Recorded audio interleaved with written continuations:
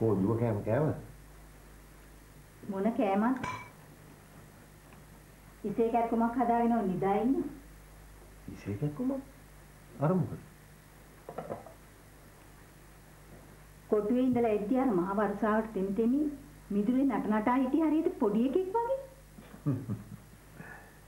දුව ඉතින් තාම පොඩි එකී නෙන්න. අපිට ඉතින් තුන් හතර දිනක් ඉන්න එකක් කෑ ඔච්චරයි නෑ ඉන්නේ. ඒ වුණාට ඔය වගේ වැස්සකට පෙනිලා ලෙඩ වෙන බව දන්නේ නැද්ද?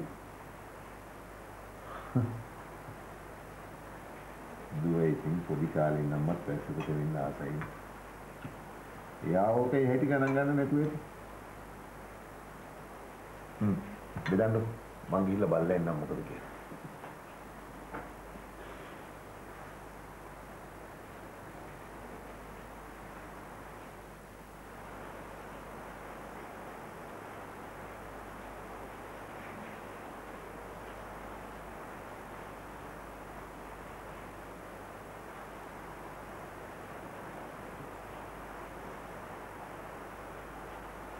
මේ දරුවට උණ ගැහිලා නේද?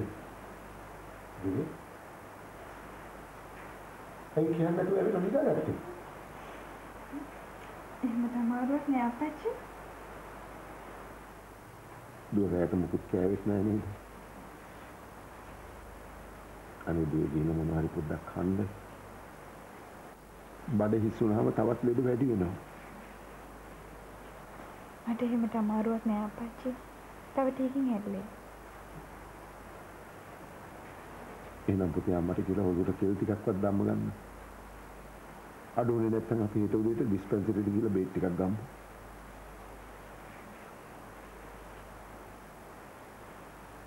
මේ දෝරෙන් පස්සේ වහින වැහි වලට නිකම්ම ලෙඩ හැදෙනවා.